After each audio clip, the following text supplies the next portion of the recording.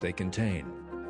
Next, nerve cells connected to these cone cells transmit these nerve impulses to a specific area in the brain. The place where the colorful world we view all our lives is formed is this area in the brain. Just a few cubic centimeters in size. The brain is a piece of flesh, and it is dark inside. In this lightless brain of ours, nerve impulses from objects are deciphered, and the colors and all other qualities of the object are formed as a perception.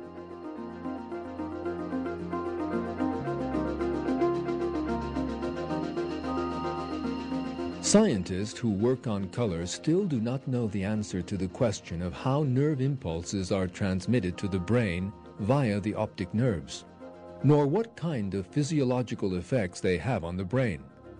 All they know is that the perception of color occurs in the center of vision in our brains. However, the brain continues to function as perfectly today as it has since human beings were first created. It is because of Allah's flawless creation that human beings live in a three-dimensional world whose colors, shapes, sounds, smells, and tastes are perceived inside a piece of flesh, a kilogram in weight, protected inside a dark skull.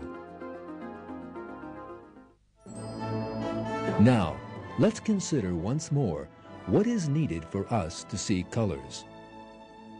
The sun emits rays to form a colorful world.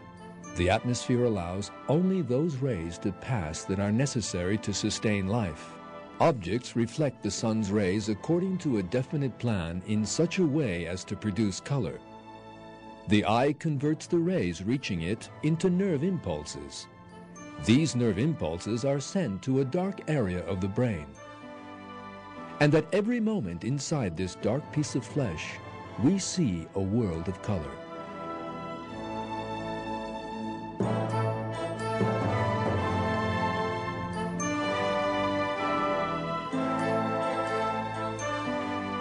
Every individual finds this incomparable miracle of creation ready at the time of his birth. There is no human participation in the production or continuation of the stages we have listed.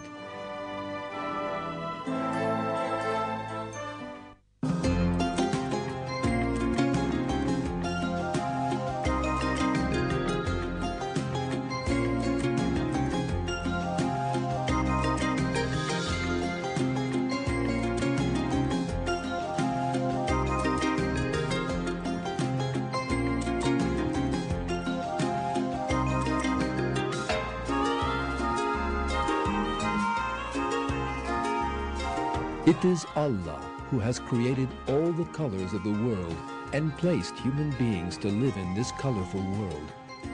In a verse in the Quran, Allah reveals this truth. Do you not see that Allah sends down water from the sky, and by it we bring forth fruits of varying colors? And in the mountains there are streaks of white and red, of varying shades, and rocks of deep jet black. And mankind and beasts and livestock are likewise of varying colors. Only those of his servants with knowledge have fear of Allah. Allah is Almighty, ever forgiving.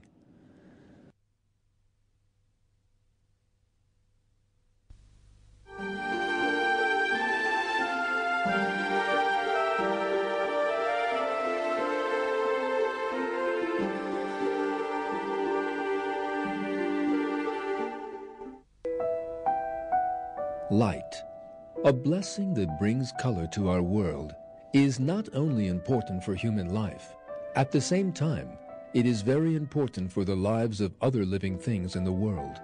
Creatures have a language of color that operates according to their light sensing systems. Most living things need color to help them find food. For example, sunbirds. This species of bird feeds on the nectar of this shiny red flower. The flower's bright color allows the birds to find food easily.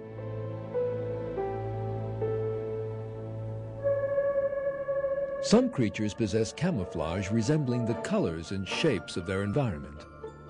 This allows them to hide from their enemies.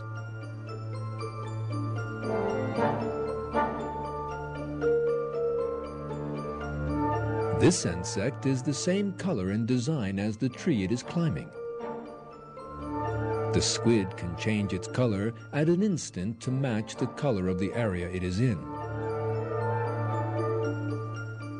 This bird's eggs and the color of the newly born chicks are the same as that of the surrounding area.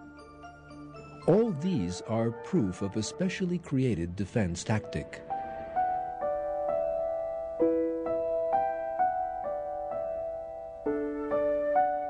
If this creature on the leaf did not move, you would not know that it was an insect. You would think that it was a piece of dry branch.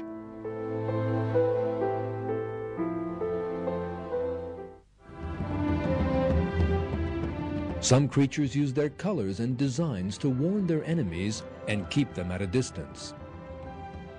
For example, this butterfly opens its wings wide and shows its enemy spots that resemble the eyes of an owl. In this way, it scares off its predators. Zebras use their striped design to confuse their enemies. Each one's stripes are different to those of all the others. They stand together and confuse the predators by mixing their stripes together. Polar birds assume a snow-white color in winter, whereas when spring comes, they change color to resemble that of the leaves and plants.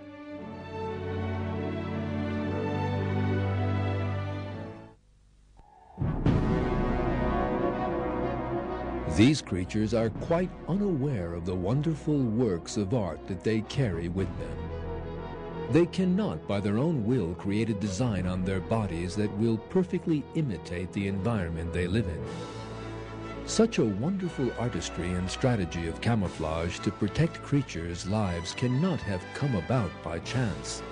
There is no doubt that it is Allah, Lord of all the worlds, who created these living things from nothing and placed this wonderful decoration on their bodies to allow them to survive. Allah encompasses everything and every creature in the heavens and on the earth. In a verse of the Quran, Allah says, And in your creation and all the creatures He has spread about, there are signs for people with certainty.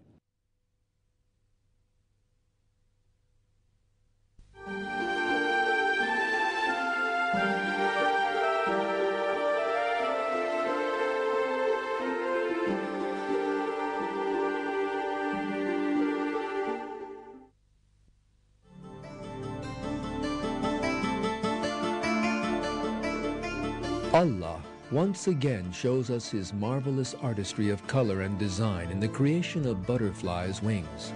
Now, let's look closely at the wings of butterflies, each of which is a work of art, and see how these wonderful designs came to be.